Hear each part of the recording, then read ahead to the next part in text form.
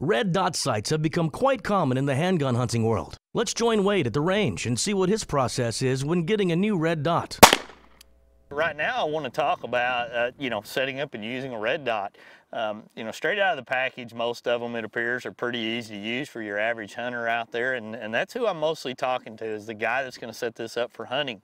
um, you know, taking it down to the range, spending some time, obviously getting their first zero set up at a, at a close distance and then beginning to work backwards from there. It's interesting to me to talk to long-term handgun hunters that absolutely love the red dots uh, for a lot of their setups. I mean, they're convinced that, that it gives them the fastest target acquisition and the best ability to shoot it at long distances and short distances simply by, you know, raising and lowering the gun and dialing it in. They've got a lot of confidence in them, but I promise you, one of the biggest things they do is they've shot shot more, and shot again to build that confidence level. So when it comes to choosing a red dot, green dot, or one of those types of setups, the biggest piece of advice that we're gonna have and the biggest piece of advice we're gonna give to you is you need to spend a lot of time practicing.